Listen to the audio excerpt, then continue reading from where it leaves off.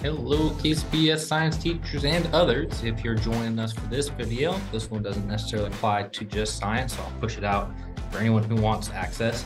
I just want to quickly show you guys how you can use the lockdown browser still with Illuminate, even though we're using quick codes.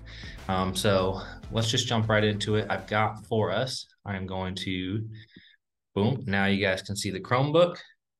Um, and so here's the key for doing the lockdown browser um, before students log in. So their screen will either look like this or more likely they'll have their user icon and others. But no matter whether they're here or there, down at the bottom, uh, you'll see the apps. Click the apps. And at least on this one, it's the second one from the top. I don't know if that's going to be standard across all student devices, but you want the one that says Illuminate Lockdown Browser.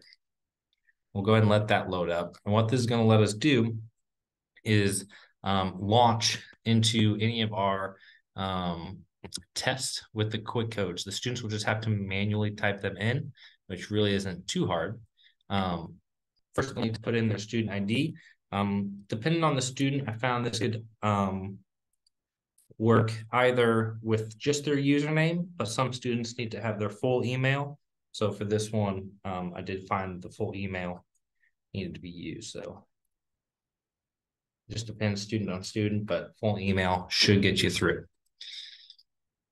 Now, and then for the access code, so all you're going to do on the day of testing, you don't need to give the students the link at all.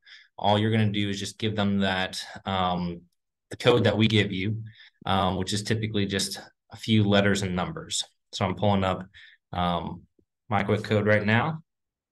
And so you'll see a student will type in capital Y. Actually, let's try it without capitals, and we're going to see if those even matter. So Y four, ZY six five three.